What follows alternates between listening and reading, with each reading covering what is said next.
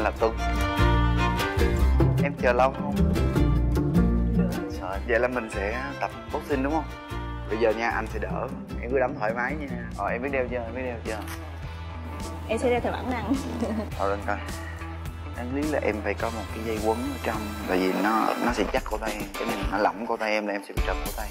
Nói chung là em có thể đánh hết mình nhưng mà cũng không cần hết lực đâu. Đây nha chứ không phải mặt anh nha đây nha. Nhưng mà em hay vậy. Em không biết Anh sẽ nha. né mũi có sữa không? Không muốn không được. Ok vậy được rồi. Ok. Đó rồi chưa chưa. Không có gì. Không mặn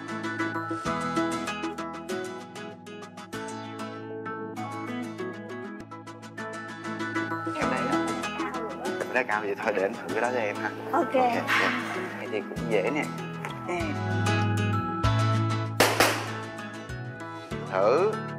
Là ok là em quen ok. cái. Em có thể đắt cao hơn ừ. em đã to đó. Hay chưa hay chưa? Hay chưa? Giỏi quá ta. Không? Nếu mà thì mình ngưng. Vậy thôi mình à, nghỉ ngơi đi. Đây đây xin mời. Tháo Mời em hồi nãy em tạ cái anh cũng nghĩ ồ có khi nào bạn đó cao quá khi nào hai đứa nói chuyện mà anh phải vậy nè phải nhìn lên vậy nè không lúc anh gặp thì em vẫn trong trạng thái nhỏ nhắn xinh xắn. Anh đấy em cao mét mấy? Em chắc cũng mét bảy lăm. Một mét bảy mươi lăm mà hả? Hồi nãy em nói với anh là em cao gần một mét tám Đúng. một mét bảy mươi tám. Nhưng mà em em có thấy cái chuẩn của mình á nó sẽ cao hơn thì những người mà thích mình á thì họ sẽ kiểu họ thục vì vì thục chí khi mà họ muốn tiếp cận mình không? Bây giờ có hai gu nha. Ví dụ như gu người ta là thích cao, nhưng có gu người thích lùn. Có người thích mập có người thích ốm. Nên là mình như thế nào thì phù hợp với gu của các bạn đó. Chứ đâu phải là ai cũng thích cao đâu, đúng không? Như anh nói là tiêu chuẩn của em á là em cao nè. Nhưng mà cũng có người không thích cao. Có nhiều bạn rất rất thích lùn. Ví dụ như bạn em á lại thích quen những đứa con gái lùn, chứ không thích quen những đứa con gái cao cảm nhận đầu tiên của anh mà sau khi nói chuyện nè, xong rồi gặp em ở đây nè, anh cảm thấy em thật sự phải công nhận một điều là em rất giỏi. Thực ra là em làm được nhiều việc, còn anh ấy, bản thân anh nha, anh tự nhận. Anh anh, tới hiện tại là anh chỉ làm được nghệ thuật thôi, anh không làm được những nghề khác. Tất nhiên là anh học đại học và anh đã tốt nghiệp nhưng mà anh mới không phục là em vừa hoạt động nghệ thuật, em vừa làm kinh tế. Nhưng mà nói chung là làm như vậy thì cũng phải dành thời gian để mà gọi là sức khỏe lo cho sức khỏe là tốt nhất. À, cái gu tìm một người bạn trai đi. Một người bạn trai của em là như thế nào? Em thì gọi là một người ờ, thiên về ờ, thích cái bạn những bạn nam hiền nhưng mà phải nói nhiều. Anh có? Gọi là biết tạo được vui cho mọi người. Ừ, mà anh còn bị lát đúng phần đi đi xíu. Em là người ờ, hướng ngoại.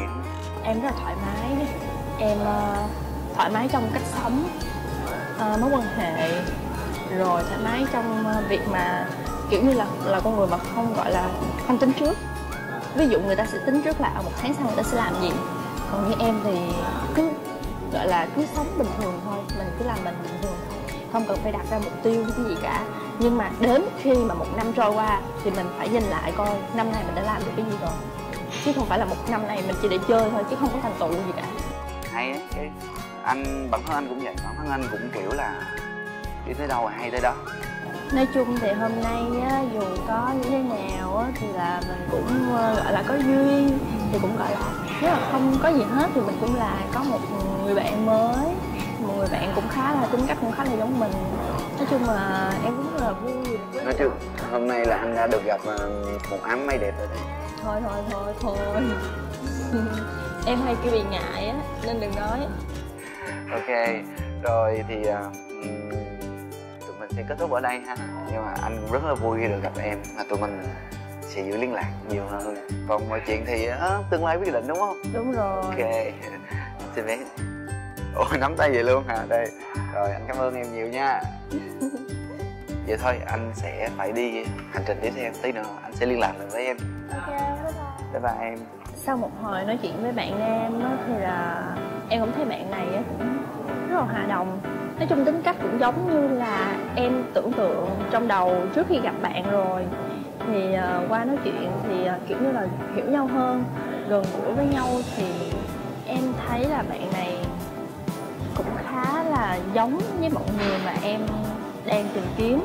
Lúc đầu á khi mà bạn đó bước vào và kiểu như là hồn em á thì khi quay lại á thì ờ, đầu tiên là em cảm thấy là bạn này giống với một tính cách mà em đang thích.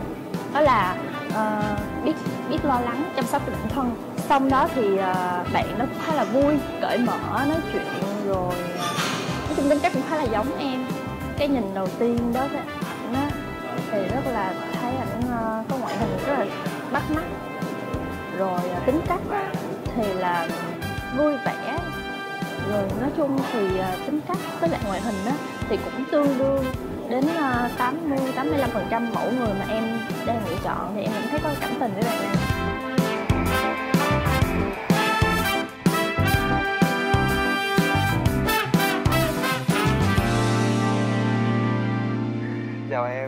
anh anh là tuấn. Chào anh em là thanh thùy. Anh có muốn thử không? Không em em chơi trước đi em chơi. Em nhường cho lâu lắm rồi mới chơi á. Wow xịn quá à. Ui anh giỏi quá à. Nhìn anh lúc này cũng mạnh đúng không? Nhưng mà chơi xịn anh ơi. Xuống được không anh? Ổn không nãy giờ anh tưởng là em chơi rồi. Uh-huh. em mới thử thôi. Bây giờ tới em mời em mời em. Bắt đầu rồi má ơi chóng mặt của chừng đâm vào quá vách rồi né cái cây thông rồi xong rồi. À à, game over. Thôi em dừng luôn hả? Em dừng rồi ok không sao không sao. Thì cảm ơn anh. Uh, chơi game xong rồi chắc là thôi uh, mình sẽ đi qua bên kia để mình uh, nói chuyện ha. Đó nó ngọn đèn đường này à hồi nãy anh có giới thiệu cho em rồi đúng không? Sau khi mà nghe nói chuyện điện thoại á vậy đúng không thì em thấy anh là người như thế nào? Cảm nhận của em đầu tiên là anh rất là hoạt ngôn. Anh nói rất là nhiều. Thứ hai là anh nói chuyện không có bị vô duyên mà rất là có duyên. Cuốn hút người đối diện người nghe. Giống như em. Em có sợ mấy người nói nhiều không? Nói nhiều nhưng có duyên thì đó là ai cũng thích với anh anh thấy may mắn quá. Cái cảm nhận của anh đầu tiên khi mà anh nói chuyện điện thoại với em xong với lúc mà anh gặp em thì nó không khác là mấy đặc biệt là anh cũng rất là thích tiếng nói rồi tiếng nói của em. Với lại thật ra anh cũng thích những người nói tiếng hơi hướng bắc hoặc là ở miền trung ấy. Là nói chuyện nghe nó rất là gần gũi rất là dễ thương. Thì tính cách của anh ấy ừ, em đoán thử coi anh là người hướng nội hay hướng ngoại? Em em thấy anh là hướng ngoại nhiều hơn hướng nội. Em nghĩ là anh cũng có nhiều suy nghĩ nhưng mà em thấy anh có vẻ là hoạt náo hướng ngoại nhiều. Tại vì bản thân anh thật ra nha ngoài nó nóng nhưng mà trong nó lạnh có vẻ là anh là người hướng ngoại nhưng mà thật ra anh là người hướng nội.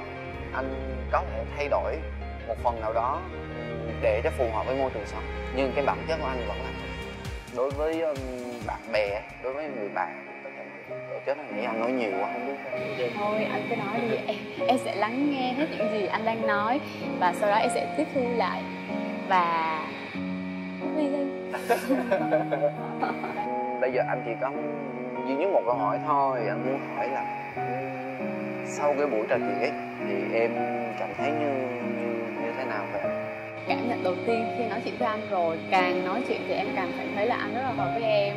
Có một cái là em nghĩ là bù qua sớt lại á, ví dụ là anh là một người thực sự là hướng nội và nhưng mà tỏ ra bên ngoài là mình phải như vậy phải nói rất là nhiều phải kéo tâm trạng như vậy ra thì em nghĩ á, là em là một người lắng nghe anh nói lắng nghe những lúc mà anh mệt mỏi tâm trạng. Để, để đến những cái lúc đó những lúc anh cần thì em sẽ kéo anh ra hỏi những cái mớ hỗn độn như vậy. Nói chung là ngoài lời cảm ơn ra anh cũng không có gì hết. Dạ. À, anh chỉ có thể nói đó là em không khác gì với những gì anh mà tưởng tượng. Xinh nè dễ thương nè gần gũi. Nói chung là anh rất là thích. Sau khi ờ, gặp em thì anh cũng phải đưa ra quyết định của mình. Dạ. Anh hy vọng là mình sẽ được ờ, gặp nhau Dạ. sau khi anh đưa ra quyết định. À, cảm ơn em cảm ơn em rất nhiều là đến gặp anh. Em cũng cảm có những chia sẻ mà anh chia sẻ với em để em hiểu hơn về anh. Ok vậy tụi mình sẽ gặp lại nhau sau nha. Dạ. Rồi, cảm ơn em. Dạ cảm ơn anh nha. Rồi, gặp nhau nha. Dạ. Mình cảm thấy Thùy là một cực kỳ chân thành cực kỳ ờ, giản dị gần gũi và thực ra ấy, đối với mình ấy cái mẫu người mà mình đang tìm kiếm giống như là Thùy ấy mình có thể nói là như vậy. Lúc mà gọi điện thoại xong mình đã có cảm tình 60 rồi 60 phần trăm rồi. Thì bây giờ nó chắc cũng đến 80 à.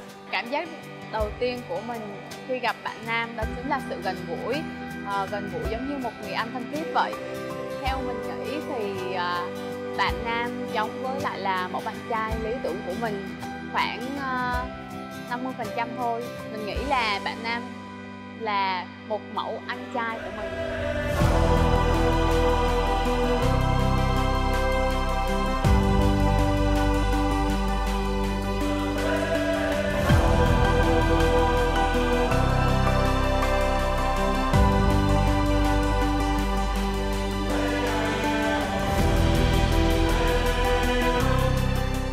안녕하세요 안녕하세요 Trời ơi, dễ thương quá, xinh quá à, Anh đã chọn cái chỗ này tại vì nó khá là lạnh ấy Thì mình sẽ được mặc đồ hạnh phúc Mình sẽ được chụp hình người sống ảo mà lại ở trong một không gian tí nữa có tuyết nữa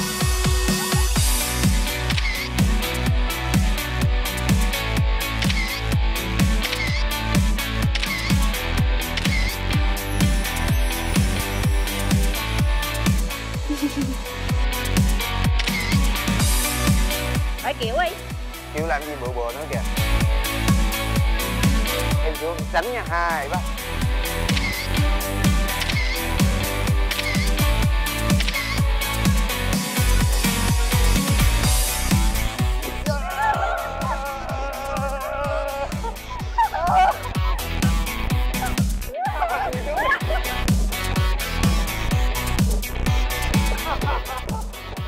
khi mà ba đứa mình chính thức được gặp nhau rồi được lăn tâm lộn. sự chút xíu nha được lăn lộn với nhau được uh, già lết. Thì anh nói cảm giác của anh đầu tiên là anh rất là vui vì cả hai bạn đều ở đây hai bạn đều rất là hòa đồng dễ thương chắc chắn rồi. Và tí nữa thì anh cũng phải thực hiện thực hiện một việc. Anh hy vọng là anh sẽ được gặp lại cả hai người sau cái phần này à, bây giờ anh xin phép anh phải ờ, đi trước. Tí nữa anh sẽ gặp lại. Cố lên Giây phút quan trọng nhất của chương trình cũng đến. Hữu Tuấn phải đưa ra quyết định của mình. Tìm được tình yêu đích thực hay ra về có thêm hai người bạn nữ. Thật thú vị và đầy căng thẳng cho chàng trai đa tài của chúng ta. Chọn đúng hay sai? Cô nàng hàng không Cô sinh viên quốc tế Ai giả ai thật.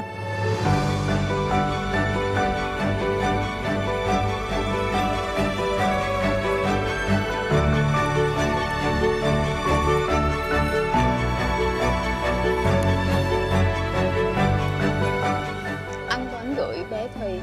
Chào em, anh rất vui vì hôm nay em đã đến và trò chuyện tâm sự nè Chơi trò chơi nè. Mọi cảm nhận về em và về anh đã được chia sẻ cho nhau hết. Vì vậy anh cảm thấy rất có phước khi mình được lắng nghe và chia sẻ. Anh chúc em sẽ gặp được nhiều may mắn, hạnh phúc Và sẽ luôn vui vẻ và tự tin lên nha. Anh Tuấn, ký tên. Chào em Chào anh Anh tặng em cái này. Ờ, Dạ cảm ơn Hy anh. vọng là em sẽ thích nó. Dạ, Cũng khó nói lắm ta. Dạ. Ừm, Thật ra thì à, anh nói là anh sống vì theo tình cảm á Cho nên là anh cũng không quá khó khăn để phải đưa ra cái quyết định của mình. À anh nghĩ em là real lắm Ừ, lần đầu tiên thì em cũng cảm ơn anh. Cảm ơn anh vì à, bó hoa này.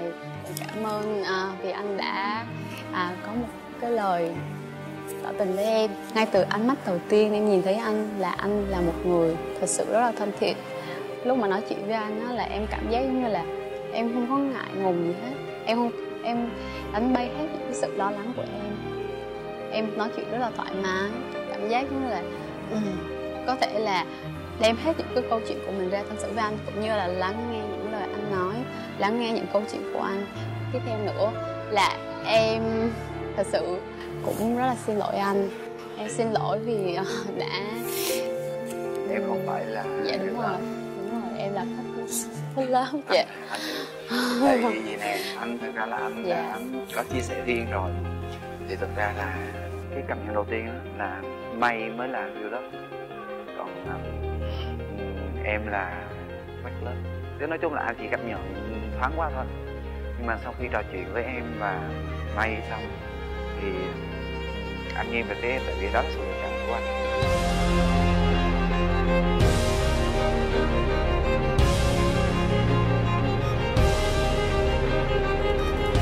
ra thì à, trong cái à, tâm trí của mình này mình nghĩ đó là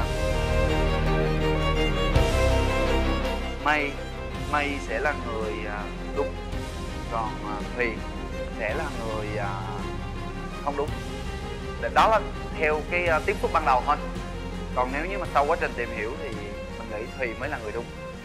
Trước khi mình kết thúc cái buổi gặp gỡ hôm nay thì anh cũng có muốn một món quà muốn tặng cho em. Cái này là cái vòng tay.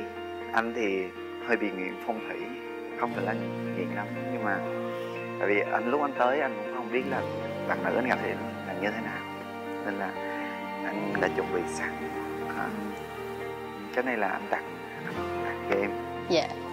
Em rất cảm ơn anh. Chúc em trong cuộc sống á vui vẻ xinh tươi. Nhớ phải chăm sóc bản thân mình tốt cảm nhận của mình khi bạn Tuấn bước đến là mình thật sự rất là bất ngờ. Mình không nghĩ là bạn Tuấn sẽ chọn mình. Tại vì bạn Ngân rất là phù hợp với lại là mẫu người lý tưởng của bạn Nam. À, nhưng mà à, bạn Tuấn đã chọn mình. Mình cũng có một chút buồn vì à, bạn Tuấn không tìm được người con gái thật sự của mình. Tại vì mình thấy bạn Ngân là một mẫu bạn gái rất là lý tưởng à, phù hợp với lại là bạn Tuấn. Anh rất vui khi được gặp em, trò chuyện nè, chơi trò chơi nè và cũng là tìm hiểu. Anh cảm ơn em đã dành thời gian quý báu cho anh hôm nay. Mọi cảm nhận về em anh đã nói hết rồi. Anh hy vọng tương lai tụi mình sẽ được gặp, trò chuyện nhiều hơn. Anh chúc nhiều em nhiều niềm vui, sức khỏe. Cảm giác em khi mà nghe tin mà anh Tuấn chọn thì á, sau chương trình này á, em cảm thấy rất là vui vì đã có thêm được hai người bạn cực kỳ hiểu mình. Em chúc mừng anh đã tìm, đã đưa ra quyết định cũng như là chọn được người anh nghĩ là hợp với mình. Nhưng mà chắc là anh lựa chọn sai một xíu, là không lựa chọn lưu lớp mà lựa chọn nghe nhằm khách lớp. Nhưng mà không sao, qua chương trình này thì chúng ta có thêm những người bạn. Sau chương trình thì cũng thể gặp nhau, nói chuyện và tâm sự với nhau nhiều hơn.